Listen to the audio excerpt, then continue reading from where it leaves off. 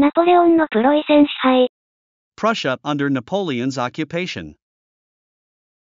ナポレオンの占領下にあるプロイセンは、政治、経済、社会の各分野で大きな変化を経験しました。以下に、詳細な概要を示します。Prussia under Napoleon's occupation underwent significant changes across political, economic, and social spheres. Here's a detailed overview.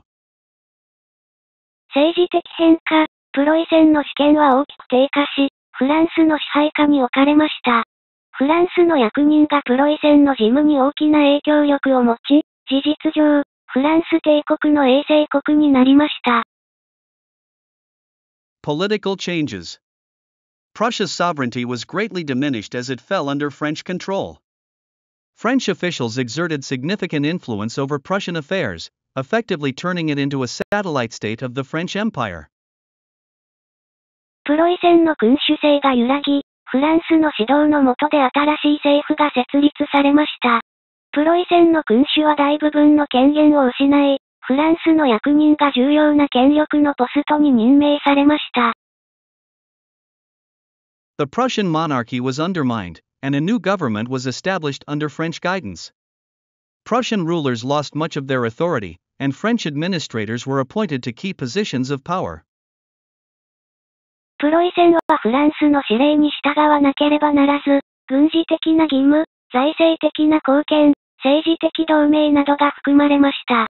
プロイセン政府はナポレオンの意思に従い、独立した決定を行う余地はほとんどありませんでした。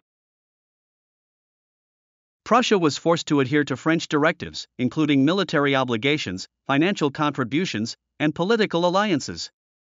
The Prussian government became subservient to Napoleon's will, with little room for independent decision making.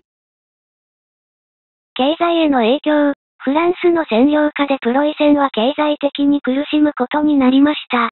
ナポレオンはプロイセンに重い賠償金を課し、 自身の軍事キャンペーンや帝国の維持に必要な資金を捻出しました。Economic impact Prussia suffered economically under French occupation. Napoleon imposed heavy indemnities and levied taxes on Prussia to fund his military campaigns and maintain his empire. プロイセン経済は混乱し、フランス当局が資源を要求し、貿易制限を課すことで打撃を受けました。多くの産業が苦境に陥り、プロイセンの人々は失業と経済的苦難に直面しました。The Prussian economy faced disruption as French authorities requisitioned resources and imposed trade restrictions. Many industries struggled, leading to unemployment and economic hardship for the Prussian population. フランスのプロイセンの貿易路や港に対する支配は、経済成長を阻害し、プロイセンがフランスに課せられた財政的負担から回復する能力を阻害しました。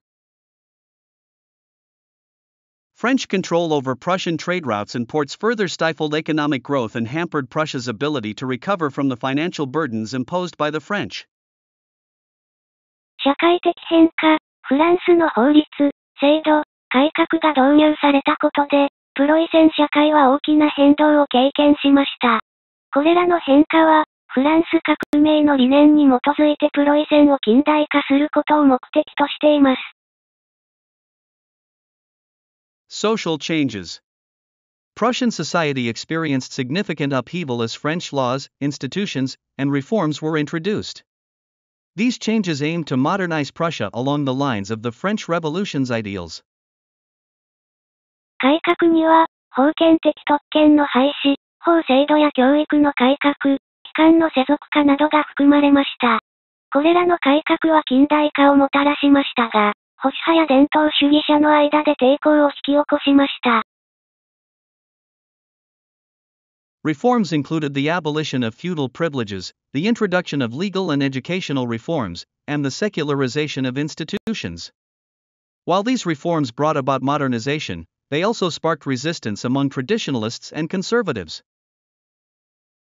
フランスとプロイセンの文化的な交流が行われ、芸術、文学、知的思想に影響を与えました。しかし、文化的同化は、プロイセンの人々の間で様々な程度の受け入れや抵抗をもたらしました。Cultural exchanges between France and Prussia occurred, influencing art, literature, and intellectual thought.